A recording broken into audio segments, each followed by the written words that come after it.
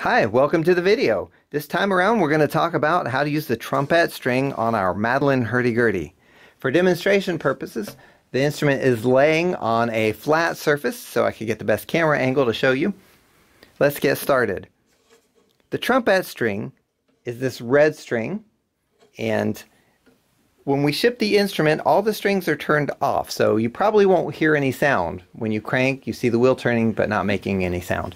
The way we turn this string on or off, you can see it's looped over a brass pin over here. We just pull it off the pin so that it's allowed to touch the wheel. There we go, now we're getting a note. To turn it off again, just pull it away and loop it over that brass pin. No sound. So now you know how to turn the string on or off for this model. The string should be tuned to a G note for this model. Our tuning charts are on page 12 and page 10 of our instruction book. The usual tuning we send these out is in the GC tuning, which is on page 10. So that's probably the one you're following along with for the tuning chart. If you're not sure which tuning yours is in, for the most part, we send them out in GC. We only do G, G by special request, usually. Um, if you're not sure again, look at your lesson book. You'll see that we highlight the top of the page there just as an extra reference point. Back to the string. We're going to use the corresponding tuner on the other end of the instrument to make adjustments. And we're going to bring this up to proper pitch. As you can see, I'm getting a D note here. Why is it so far away from where it's supposed to be? Well, the reason is we loosen the strings for shipping. We're going to raise the pitch up to a G.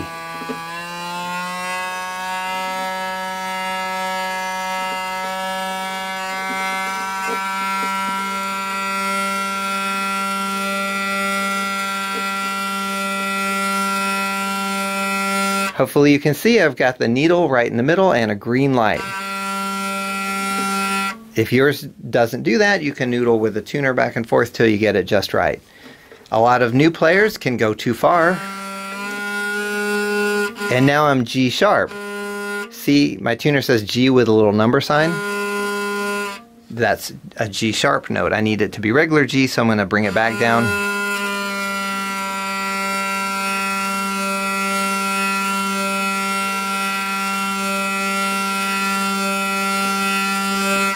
There we go. If you find that you're getting weird scratchy sounds, it is possible your cotton may be out of position.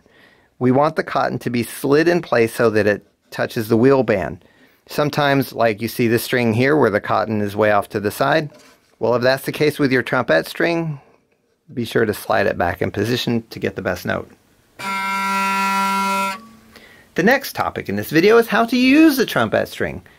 It's a drone string, so if you need a G note, you're set. You're good to go there. But if you want to buzz with it, like you're going to tap out a rhythm,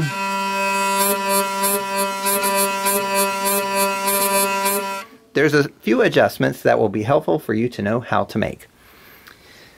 The first is how to adjust the trompette so that it buzzes properly.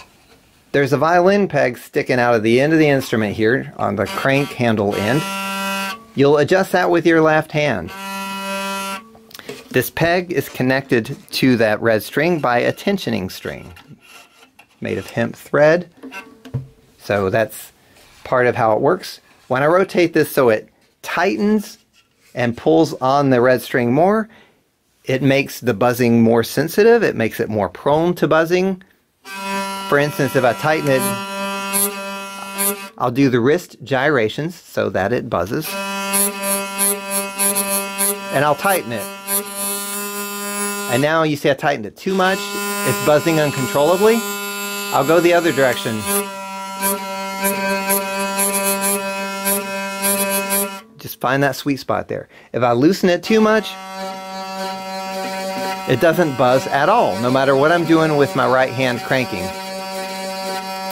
So there's, as I mentioned again, uh, as I mentioned a moment ago, there's just a sweet spot in there How do you know if you're a new player? You might not know how to get the buzzing. The buzzing is achieved by gyrations or flicks of the wrist with your right cranking hand.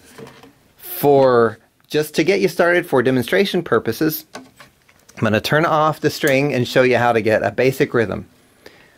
When I'm cranking, there's a part of the rotation where I'm coming up, like there, and a part where I'm going down, like there.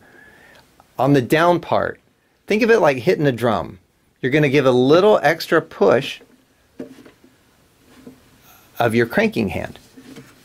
That's the basic, easiest rhythm to get. That's the one you tap your foot to when you're playing. So I'll turn back on my trompette string.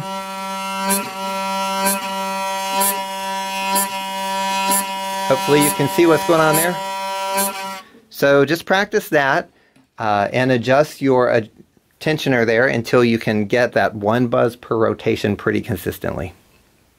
The last thing we're going to talk about with our trompette string is the drone capo.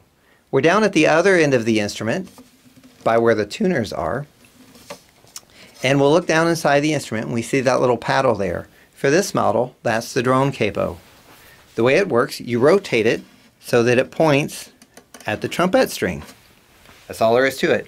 And my G string before is now an A string. If I want it back to a G, I just rotate it out of the way.